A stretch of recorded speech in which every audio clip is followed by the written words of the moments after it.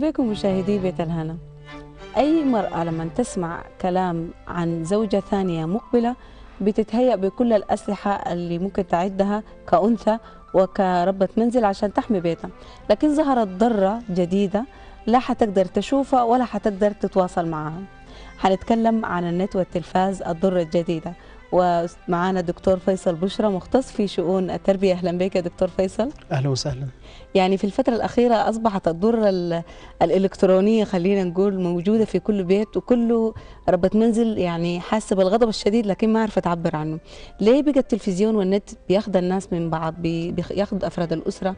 وبالتحديد الزوجين يعني بيكونوا دايما بياخدوا معظم وقتهم بدل ما يكونوا مع بعض مع جهاز النت أو التلفزيون.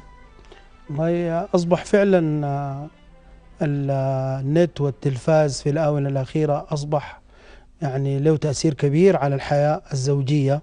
فنجد أنه يعني الآن ال- الزوج أصبح يقارن بين ما يشاهده وما يعايشه.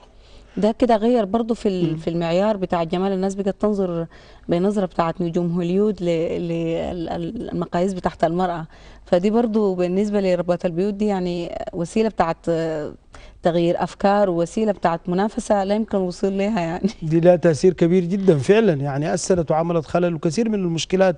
يعني يمكن اللي بنسمع عنها أو اللي بنشاهدها يعني بنجد أنه لها جذور في مسلسل أو جذور في آه، موقع معين في النت الإنسان اطلع على معلومات يمكن تتنافى مع تقاليدنا أو مع المعايير السودانية.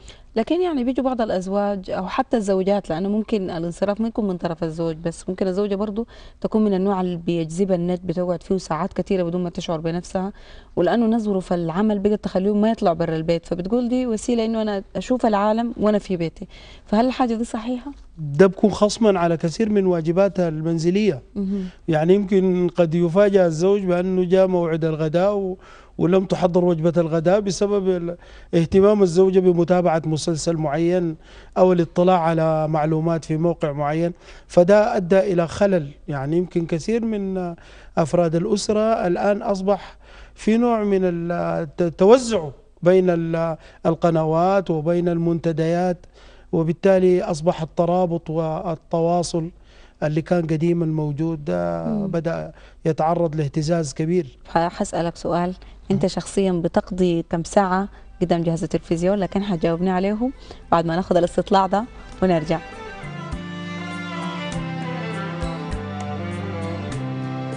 بيت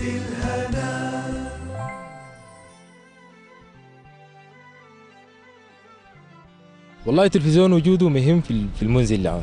لبعض الأطفال لبعض ال... لبعض المنازل لما المرة تكون برا موجودة وال... يعني يكون مفرق شوية بعض المشاكل إن شاء الله. التلفزيون ضروري جدا آه، في المنزل. إذا كان الناس استغلته استغلال طيب. إذا كان الناس آه، بدأت تستهدف ال- البرامج الهادفة. والله في الحياة العصرية طبعا ضروري. طبعا في الزمن طبعا بيتطور شوية ليه حوجة ليه التلفزيون ضروري في المنزل. مهم خالص. بالنسبة للأطفال ولينا إحنا كلنا. بيت الهنا.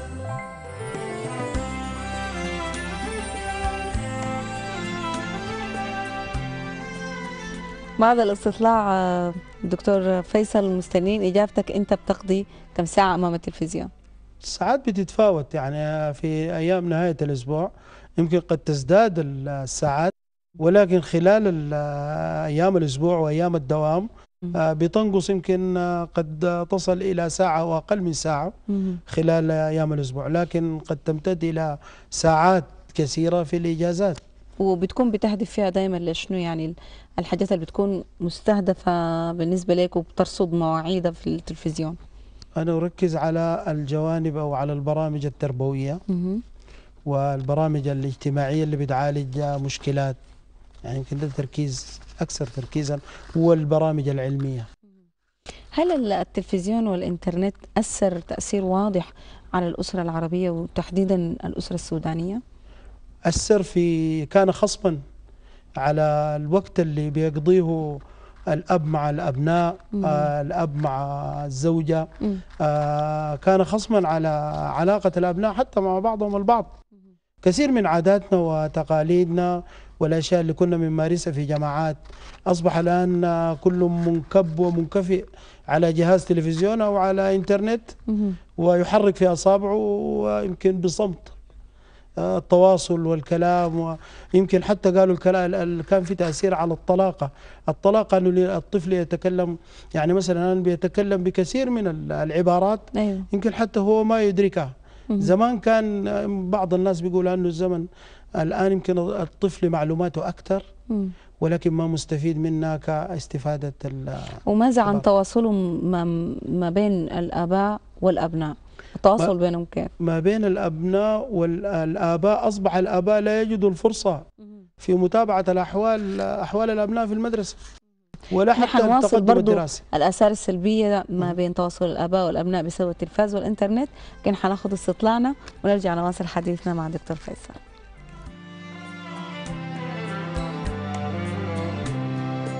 بيت الهنا.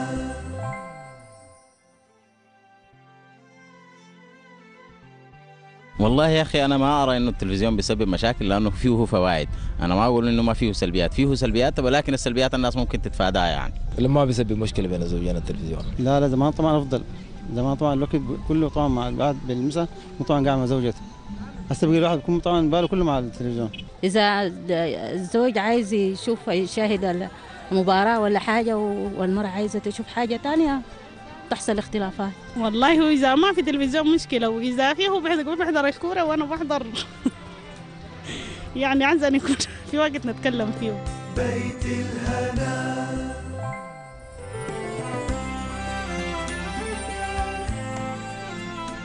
آه، شاهدنا الاستطلاع دكتور فيصل ويبدو إنه التأثير مع الزوجين بس بل بيمتد للأبناء. وأنت كنت بتقول إنه في أثر سلبي بيمنع التواصل الجيد بين الأب وأبنائه. آه عايزينك تكلمنا الثاني عنه الملا يعني الملامح العامة بنشوفها كيف. الملامح العامة أصبح ال- الأب في شغل عن اهتمامات الأبناء. الآن الأبناء يشاهدون كثير من الأشياء قد يكون فيها أشياء سلبية. وأشياء إيجابية. تاثر على سلوكهم الشخصي. تؤثر على سلوكهم الشخصي ويمكن حتى الأب ليس على علم برموز ومصطلحات يعني أصبحوا الآن هم يتعرفوا على ثقافات ويتعرفوا على لغات وعادات آه، يمكن الأب ما اطلع عليها وبالتالي ما بيستطيع تقييمها وتقويمها يعني أنت بترى إنه ال- الأب أو الأم باعتبارهم المسؤولين لازم يتقربوا أو يتعرفوا على النت عشان يعرفوا مضاره شنو؟ الآن في مقولة بتقول أنه على الآباء أن يطلعوا على ما يشاهدون ما يشاهده الأبناء وما يسمعون وما يكتبون. الكلام ده أصبح فيه استحالة. لأنه أصبحوا الآن الأبناء بيعرفوا بعض الأشياء اللي ما بيعرفوها الآ- الآباء فأصبحوا الآن الآباء. في تحدي. إما المواكبة والتطور والاطلاع. أو فعلا تتعرض الأسرة لاهتزاز يعني إحنا دائما بنتكلم عن إنه هو أصبح ضرر تاني لأنه في أزواج كثيرين بينصرفوا لأنه ما بعد عملهم ما عندهم فرصة يطلعوا. أيوة. فبيقعدوا جنب النت إنه دي نزهة داخلية لهم. أيوة. كيف ممكن ما تكون وسيلة فصل بينهم تكون وسيلة لإنها تجمع بينهم؟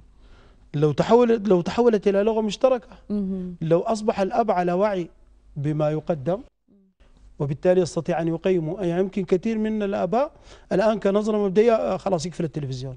مهم. سياسة المنع. الزوج كيف ممكن يخلي إنه في لغة حوار مشتركة ما بينه وما بين زوجته عن طريق الإنترنت؟ بيكون بأنه بعض المشكلات اللي معروضة في الإنترنت ممكن يبحثوها بشكل مشترك مع بعضهم البعض. ممكن يقارنوا بين هذه المشكلات وبين المشكلات اللي اللي يعني ما يكون مثلا وسيلة. ترفيهية لواحد منهم لازم الاثنين يحاولوا يخلوها وسيلة لهم هم الاثنين بشكل أو بآخر مش كده؟ وده وده بيرجع أن هم يعني يطلعوا بعض. على ما يسمعوا أو يشاهدوا في الإنترنت يعني بشكل يعني كنوع من ال- يكون في نوع من الشفافية نوع من الشفافية مهم. ده يمكن يساعد في أنه فعلا يكون في تقارب بدل. يكون كل واحد ينصرف إلى موقع. أو ينصرف إلى لأنه برنامج في معين. بعض الزوجات بسمع شكاويهم إنه زوجي بيقعد جنب النت وأنا ما عارفاه هو بيشاهد شنو في الإنترنت يعني لا قدر الله ممكن يكون بيشاهد مواقع يعني خلينا نقول مواقع إباحية مواقع فيها صور ما بتليق ب- بإنه يس- يشاهدها زوج فيمكن المخاوف دي بتبتعد عنها إذا هو أشرك معه في مشاهدة الإنترنت مش فعلا فعلا إذا هم يعني اتفقوا على مشاهدة أشياء معينة كده؟ مهم.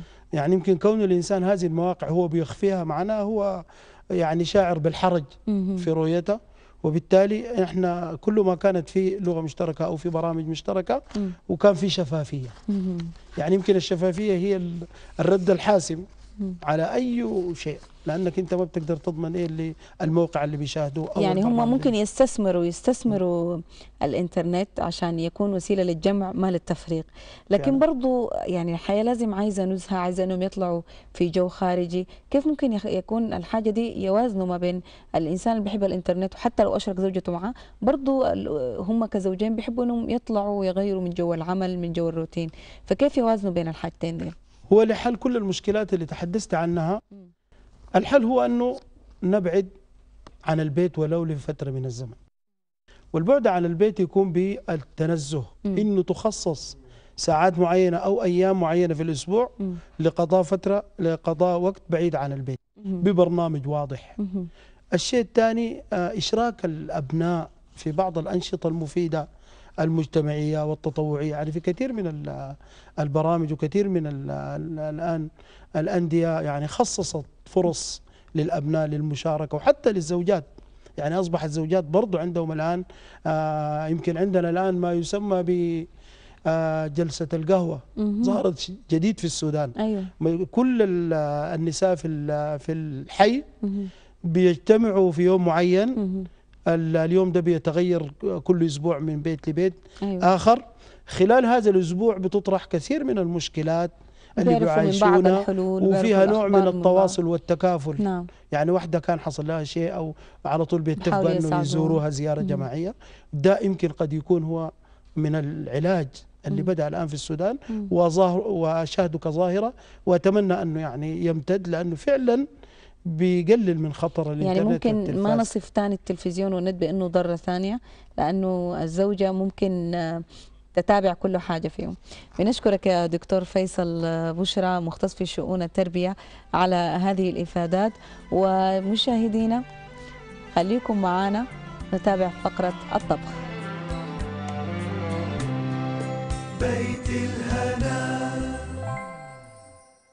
أهلا بكم مشاهدينا وكل الأطباق العربية والعالمية من مطبخ بيت الهنا وطبق اليوم بقدم الشيف عادل عبدون كيفك يا شيف عادل؟ مرحبتين يا أستاذة سحر ومرحبتين بالاخوه المشاهدين نخص التحية لمشاهدين بيت الهنا شايفين يعني في مكونات خفيفة وشهية عايزين نتعرف على طبق اليوم وعلى مكوناته. اليوم طبقنا رز مع الجمبري بالكاري. مكوناته الرز آه آه نص كيلو رز حبة طويلة فعندنا دائما الرز بالنسبة إن الحبة الطويلة نجده بكون من واحد لواحد ونص يعني لو كوباية بياخد كوباية ونص موية. بالنسبة للجمبري الجمبري جاهز ومسلوق مهم. و آه، baby corn اللي هو ده زي العيش الريف لكن صغير, صغير أيوه ده. طبعا بيجي جاهز معلب نعم. وعندنا الحلبة اللي هي بيسموها ال bean sprout حلبة عادية. ممكن حتى تتزرع بنفس الزريعة بتاعت عندنا في. في يعني الحلو دي طريقة جديدة الناس متعودين عليها إنها بذور يعني. نعم. هي حتى في ال- ال- ال- في الحتة بتاعت الابريه زرعوا مم. الزريعة بتبقى نفس الطريقة لكن نفس عشان. محفوظة نعم. وهي عشان كده ما ما جافة. وعندنا كاري. وسكر سكر. وده حليب بتاع جوز الهند جوز الهند مهم. العادي برضه ده بيجي جاهز. وعندنا آه، جنزبيل نعم. fresh اللي هو طازج وريحان وفلفل أخضر أخضر. وملح وزيت وفلفل وفلفل. أسود وموية لل rice. نعم نشوف آه، طريقة العمل. نبدأ عشان الزمن بالرز بياخذ زمن. نخلي الرز في النار. اللي هي حتكون حسي كوباية ونص. نعم بناخذ كوباية ونص. نقول لك كوباية شب ونص كوباية الشب هاي من بنخد نعم بنخد بعد ذاك بنخد الزيت. يعني ما بنخد الزيت بعد ذاك بنخد الموية. في ناس عادة- بيح- بيحمصوه عادة لا طبعا بعدين. ممكن تتحمس الرايز ما مشكلة. يعني مم. ممكن يتحمص مم. بتخطى أو يلعب بالزبدة. نعم. لكن هسه أنا القصد إنه هنا أنا خطيت الموية قبل الزيت. لو خطيت الزيت قبل الموية طبعا ممكن تحصل طرطشة. نعم. والزيت ممكن يعمل لنا مشكلة. نعم. فهنا ممكن نخلي ما الزيت يغلو مع يغلي بعض. شوية. في اللحظة دي بنخد برضو في الناحية الثانية نخد برضو نفس ال نحط لنا مغلاء على النار وننزل. جوز الهند عايزينه برضو يغلي. حليب جوز الهند حليب جوز تقريبا كوب. من حليب جوز الهند. نخليه يغلي. وننزل. دي طبعا الكاري اللي هو الكاري صلصة الكاري. صلصة الكاري. بالطريقة دي نخليه. يعني حليب جوز الهند عادة الناس متعودين عليه في الخبزات والحاجات الحلوة. نعم. فأول مرة يستخدموه في المطبخ السوداني في طبق مالح يعني. فهنا بكون على النار وبحرك طوالي بخليه لما يدوب لو أنا ما عندي الكاري ممكن يكون عندي كاري بودرة. لو ما عندي أصلا كاري ممكن أجيب شطة حمراء بس كثيرة لأنه هو الكاري طبعا يعني تابل هندي نعم. وحار يعني و spicy. جوز الهند والكاري يبدو إنه الطبخة دي بتنتمي للمطبخ شرق آسيا؟ نعم ممكن نقول الهندي بالذات. نعم. لكن طبعا الكاري ده سوى رغم إنه هندي لكن بقى يخش في كل الطبخات نعم. العالمية. فإحنا نخليه على النار لحد ما يغلي. نحن في اللحظة دي نقوم نجهز الخضار بتاعنا بنحاول بس نقطعه. قطع يعني ما يعني ما ما ما نقطعه قطعات صغيرة نخليه قطعات كبيرة عشان إنه شكله ذاته يكون ظاهر. نعم. في اللحظه دي عندنا الرز بيكون في النار يأخذ له زي 10 دقائق في النار بتغلي بعد ذاك بنقوم نوطي النار. مهم. ففي اللحظة دي بننزل الجمبري بتاعنا. نزلوا على الصوص اللي جهزته على الصوص اللي جهزته. لجوز الهند وصلصة الكاري نعم فكده كلنا نحن. بتقلبوا مع بعض. نخليه لما ياخذ الطخان يبقى تخين شوية. يعني ما نخليه سايل شديد. مهم. فممكن نوطي له النار حتى لو عالي. نعم. ونضيف له فلفل. فلفل. والملح. ولحد والملح. ما ياخد ال- السماكة بتاعته بعد ما انت تضيف له البهار والملح. إحنا هنذكركم بفوائد ونصائح طبق اليوم. بيت الهنا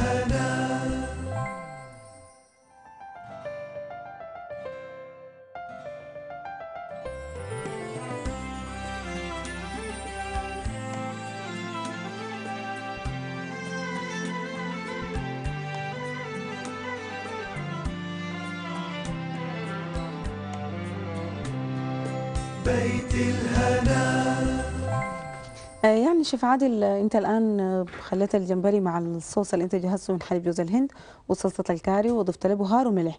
آه، الفترة المناسبة كم كده عشان يكون استوى؟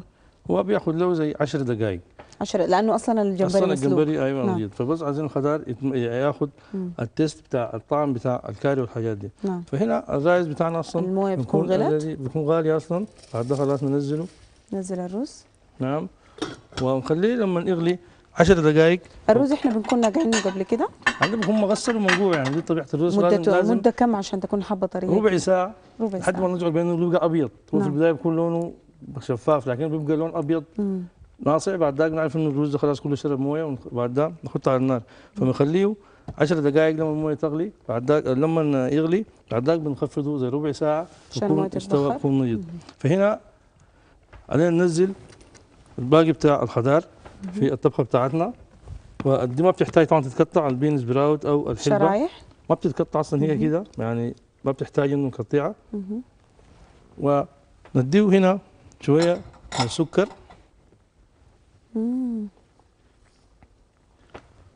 وعندنا الجنزبيل. جنزبيل يعني المكونات تقريبا واضحة إنها من المطبخ ال- الهندي. أيوه. تواجد التوابل الحارة. آه، الجنزبيل والكاري كاري. والفلفل الأسود وكمان السكر يعني حاجات حلوة وحاجات حارة مع بعض. فده كده.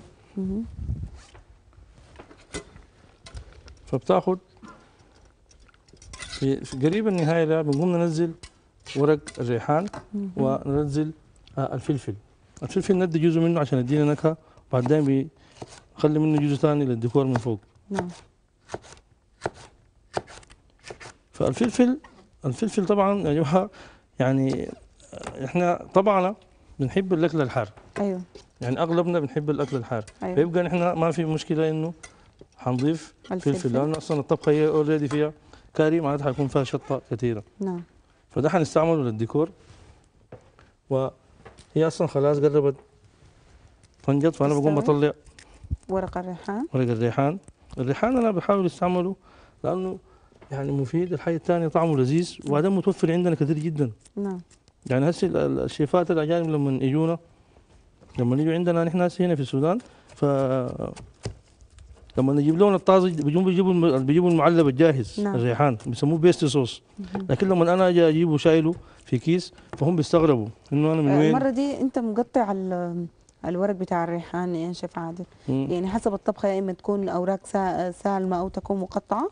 لا ما حسن بدي لو نقطع إحنا بس بدي بدي آه النكهة بتكون أقوى. يعني في بعض الحاجات زي البقدونس إذا الحاجات حسي فاضل إحنا نخلي المكونات دي تتشرب وزي ما. أنت قلت الصلصة تبقى ثقيله. و- حأذكركم مشاهدينا بمكونات طبقنا اليوم جمبري مع الرز. بيت الهنا.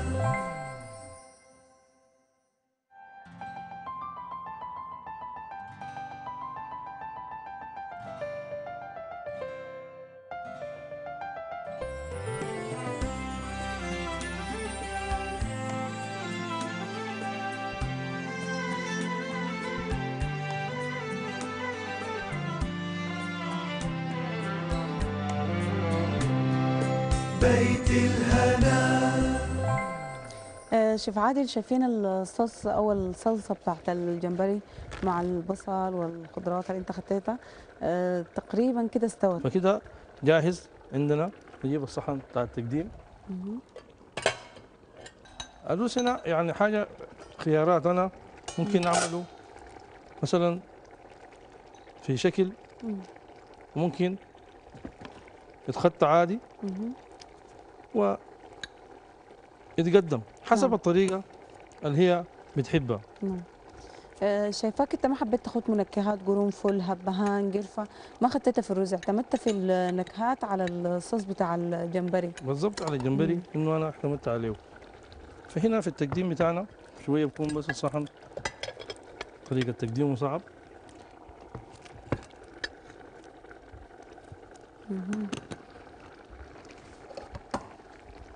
هنا برضو زي ما قلنا في خيارات. يا إما ناخد في النص. نعم. ممكن بالجنبات أخد خفيف ما كتر وممكن بس أخلي بالجنبات في النص برضو يعني ما اخدته فكده طبقنا الجمبري بالرز بيكون جاهز. يعني دي من. الأكلات اللي ممكن الواحد ياكلها في فصل الشتاء مدفية ولذيذه وفي نفس الوقت ما بتاخد وقت طويل في التحضير خصوصا إنه حاجات البحر دي يعني ما بتكون غالية في الشتاء. والله يا أخي هي طبعا ما غالية لكن أصلا الجمبري نعم. بطبعه إنه هو في كل أنحاء الناس بيكون شوية اكسبنسيف غالي شوية. أيوه. لكن يعني زي ما قلنا الناس أصلا ما بتحب تاكل الجمبري. فاحنا ما مشكلة لو ما في جمبري ممكن نعمل بنفس الطريقة ممكن نعمل سمك بنفس الطريقة. السمك. أيوه ممكن نعمل سمك. فكده ممكن نعمل لنا ديكور له